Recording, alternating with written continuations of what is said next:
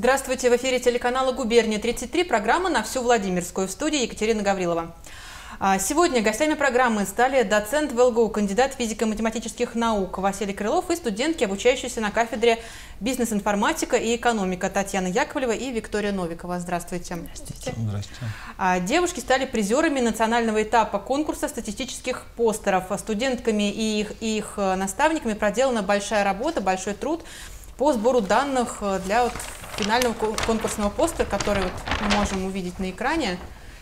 А, э, ваши исследования касались э, рынка труда. Расскажите, пожалуйста, может, сначала начнем вот э, с вас, как с наставника. Почему выбрали именно эту тему и посвятили этому такое масштабное исследование? Ну, все началось с того, что мы собрались в одной аудитории с ребятами, и мы решили выбрать наиболее актуальную тему, которая бы с их точки зрения – была бы самая интересная, которую бы они хотели бы отразить вот в этом плакате для участия в конкурсе. Мы организовали мозговой штурм, было очень много предложений, начиная от защиты природы, вот, э, и рынок труда у нас участвовал, но без контекста цифровой экономики.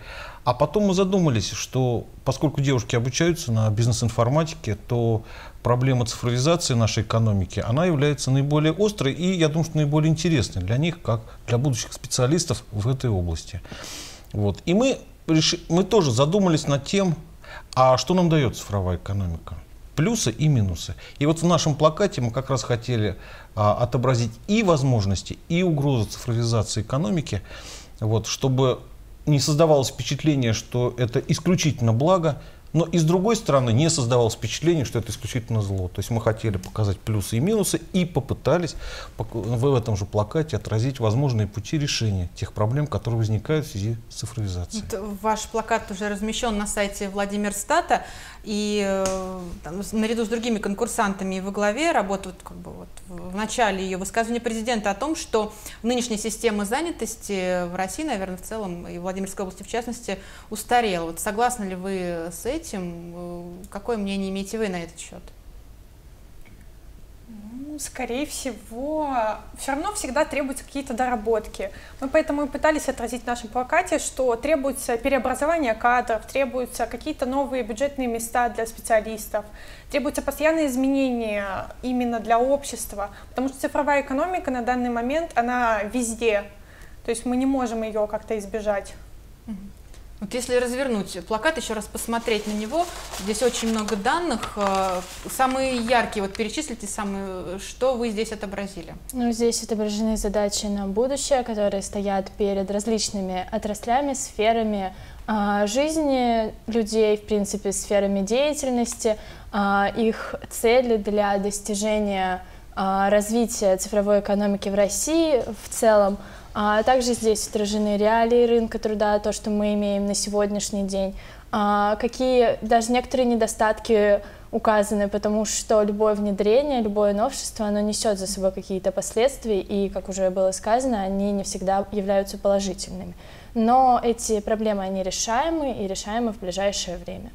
И еще мы этим плакатом хотели сказать тем, что надо быть готовым к тому, что это произойдет, и надо начинать работать. То есть этот плакат некоторым образом был призывом а, к тому, что человек должен заниматься образованием, а, так сказать, может быть, получать новую профессию и не бояться этого. И, так сказать, не, не надо говорить о том, что вот в 30 лет человек получает одну профессию, и на этом все заканчивается. Нет.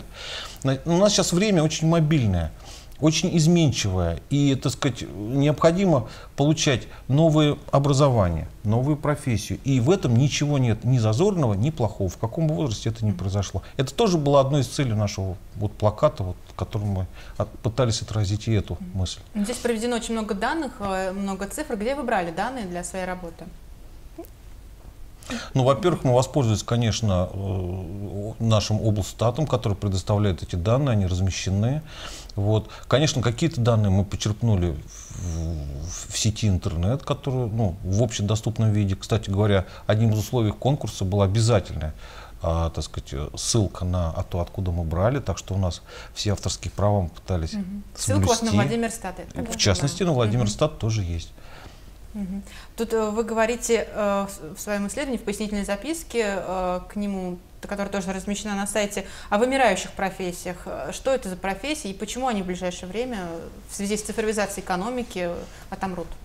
Ну, такие профессии, как финансист, юристы, бухгалтера, они будут пропадать с течением времени из-за того, что их работу будут выполнять а, либо компьютеры, как уже сейчас происходит, либо какие-то новые э, технологии, которые будут внедряться в общество, и, соответственно, специалисты, которые будут уметь владеть IT а, IT, то они будут э, более востребованы на рынке труда, нежели чем те, которые пользуются устаревшими моделями работы. А ваша будущая специальность, э, какая, в чем она будет заключаться э, после того, как вы получите диплом? Ваша профессия будет связана с, там, с IT-технологиями и как вы планируете развиваться после окончания университета? Наша специальность связана и с экономикой, и с информационными технологиями. Мы изучаем абсолютно разные дисциплины, и, конечно, мы можем иметь выбор в том, куда мы можем пойти. Наша отрасль может быть связана как с экономикой, так и с различными информационными технологиями.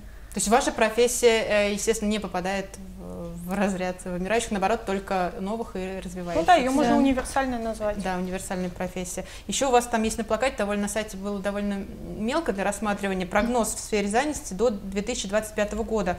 А, в связи с этим, что там может произойти, в чем состоит ваш прогноз? Там есть такой график, вы составляли его. То есть, наверное, какие-то профессии, там, и речь идет о профессиях, которые исчезнут? Здесь прогноз составлен по группам профессий как раз. И действительно, а, некоторые группы профессий, как вот уже Вика сказала, что действительно произойдет сокращение необходимости в таких профессиях. Вот. Но с другой стороны, опять-таки, можно сказать, если, мы, а, если тот же юрист будет а, успешно овладевать IT-технологиями, он тоже не пропадет и не потеряется в этой новой жизни, в этих вызовах, которые нам время предлагает в данный момент.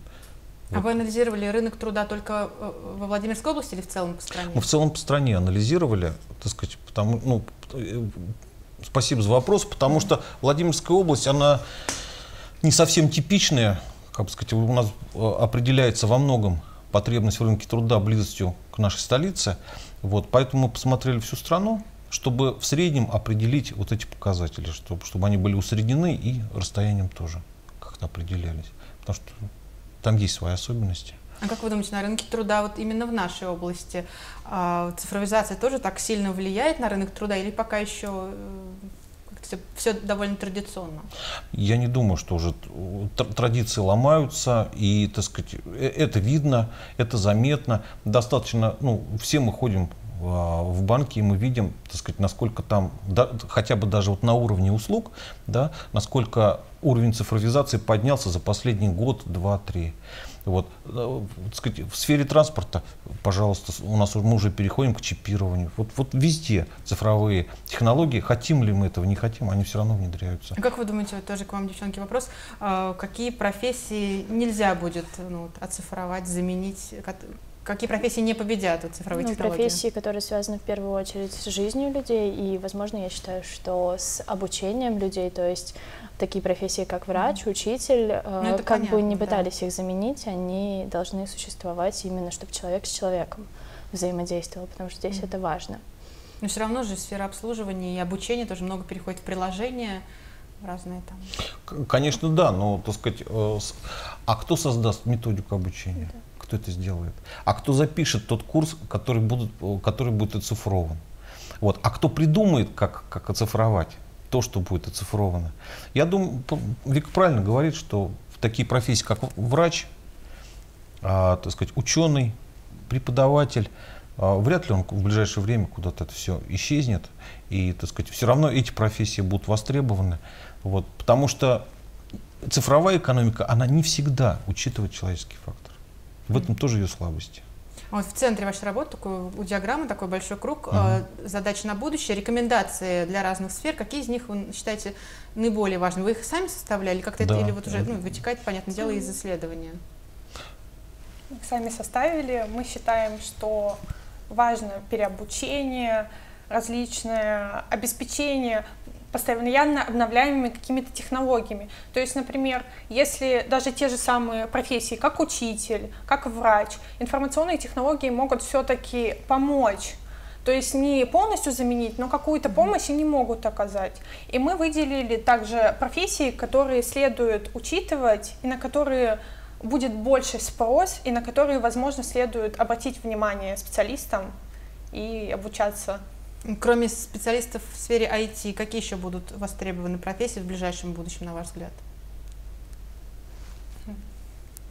Я понимаю, что вот IT-технологии заменят, ну, если не все, то практически все. Практически все заменить нельзя. Вот. Э, это, во-первых. Во-вторых, ну, конечно, будут востребованы все профессии, все профессии, которые связаны с обслуживанием IT-технологий, созданием IT-технологий, разработкой IT-технологий. Конечно, все, все это будет. Вот. И опять-таки, так сказать, человеческий фактор, он все равно останется. Опять-таки будут востребованы э, преподаватель, врач, вот, может быть, психолог, тот, тот кто так сказать, ну, контактирует с человеком. Машина вряд ли это сделает. Mm-hmm. А вот вы проделали, я повторюсь, большой труд. Станет ли эта работа, может быть, э, продолжением для ваших других каких-то научных работ в институте? А, может быть, станет дипломной? Конечно, мы занимаемся научной деятельностью, и, возможно, мы эти данные где-то будем использовать. Тем более в различных курсовых работах, в дипломной работе. Это все может пригодиться в практической части, это все можно использовать. А данными Владимирстата пользуетесь вообще по, по вашей да, учебе? Что еще берете, на какие темы? Для курсовых ну, работ различную статистику по области, по статистике сравнения а, разных показателей между различными областями, а, применяемых, вот, как уже было сказано, в курсовых работах, в каких-то практиках а, и дипломных работах, я тоже думаю, будем пользоваться. Девушка, что вам лично дало участие в конкурсе? Наверное, просто или просто вот корпели над этим плакатом, как-то вот чтобы это новые видеть. знания, которые мы приобрели за время работы над э, проектом.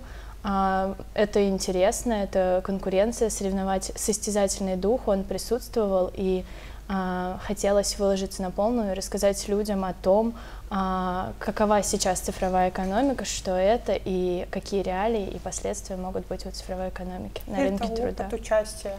Везде этот опыт пригодится. А в чем заключалась участие? Нужно было показать плакат, защитить, какую-то презентацию провести? Да, а, мы выступали с плакатом в Владстате. А, у нас э, был рассказ о плакате, соответственно, а, и ну, задавали вопросы, дискуссионные такое мероприятие было. Какие вам какие-то задавали неожиданные, острые вопросы, может быть? Что Конечно. Например, Конечно, задавали. Да. Ну, опять-таки, так сказать, вопрос правомерности тех данных, которые мы на плакате изображали. А, ну, например, что, что означает каждый из этих. Ну, э, так сказать, кто-то не верит в то, что это может произойти. Ну, вот, те, кто спрашивал, они, ну, мы, мы же говорим о тех профессиях, mm-hmm. которые являются, входят в зону риска, да. Кто-то не хочет в это верить. А чем они мотивировали, что они не верят? Ну, вот, вроде как ну, еще это... долго до цифровизации. Это еще, ну, вот, э, об этом мы только начали говорить, хотя это уже ну, не хоть, ну, человек очень инертный по, по, по своей... Э, консервативен. Да, консервативен по, по своей природе. И очень трудно выходить из состояния равновесия, в котором он находится. Даже если это равновесие показывает не очень хорошую ситуацию. И, так сказать, конечно, вот поэтому и очень хорошо, что дискуссии были очень жаркие, кстати. И очень хорошо, что это произошло. Это значит, наш плакат кого-то заинтересовал, заставил задуматься, сказать, заставил спорить. И, и вообще это вот было очень интересное мероприятие. А кто был в жюри? Кто оценивал? В жюри, Работник. пожалуйста. Работники Владимира Стата были, а, была Наталья Владимировна Юдина а, и вроде бы. Павел Николаевич Захаров Павел был, Николаевич Захаров, директор да? экономического института, института экономики, да. Вот. Так что было достаточно представительное жюри, и каждый из э, конкурсантов тоже мог задать вопросы, и студенты, и преподаватели, которые представляли другие работы. Мы очень активно били за наш плакат, боролись. Ну, а Владимир вот. Стат обещал, ну, что мы обобщим эти данные, мы ваш плакат э, там, примем к сведению, вашу работу? Ну, во-первых, они разместили его на своем сайте.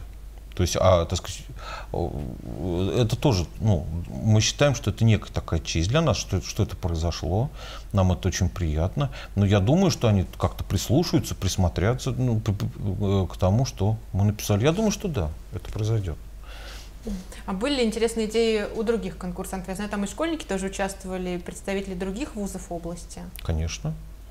Конечно. А, так сказать, наши коллеги из Института экономики представили свою работу. Она тоже была интересна. Она была посвящена малому бизнесу. Вот школьники предоставили, а, а, у них была очень интересная презентация, не знаю, сохранилась ли ее а, видеокадра, она, вот, э, ребята из а, финансового университета приготовили целое представление, посвященное этому плакату, то есть было такое прям просто шоу устроили, все было очень интересно. Там даже есть э, про молочную ферму. Что вот, вот, вот, вот, это да, это была это именно, школьники, по-моему, да, делали. школьники именно про развитие молочного производства. Это было очень интересно смотреть, очень искренне они все все подготовились очень хорошо, вложили много труда, много сил, вот и, конечно, мы очень благодарны облстату, что вот они организовали этот конкурс, так сказать, оповестили нас, провели на своей э, на своей территории. Нам, конечно, а, и очень лестно, что вот мы, конечно, стали призерами. Как я понимаю, это был э, региональный этап. Будет, наверное, всероссийский? Это был всероссийский А, этап. это был всероссийский да. этап. Но, к сожалению, мы не победили. А а, победили ребята из Новосибирска, насколько я помню. Вот их а, плакат поедет в Малайзию уже на мировой чемпионат по плакатам. А мы стали призерами по России, да. Mm. У нас было около 400 участников на этом конкурсе. Он был очень представительный. Вот. А я... у новосибирцев что была за идея? Я, честно говоря, не помню. Тоже не. Ну, не помню. Куда инвестировать деньги в Сибирь? Правильно. А. Правильно, да. правильно. Это был Интересно. плакат, плакат вопрос. Да, да, да. Плакат провокация, плакат вопрос, точно. Куда инвестировать деньги? Двоет вопрос в Сибирь угу. и несколько восклицательных знаков. Да, да, да. Ну, мы вас еще раз поздравляем, что вы стали призерами конкурса. Вы проделали достаточно э, плотную, большую работу. К сожалению, время нашего эфира подходит к концу. Я напомню, что сегодня в нашей студии были призеры национального этапа конкурса статистических постеров, студентки в ЛГУ а, Татьяна Яковлева и Виктория Новикова и их наставник, кандидат физико-математических наук Василий Крылов. Спасибо большое за интересную Спасибо вам. беседу. Спасибо. Спасибо. До свидания. Всего доброго. А запись нашей программы, а также другие новости можно увидеть на нашем сайте trc33.ru. Я же прощаюсь с вами. Всего доброго.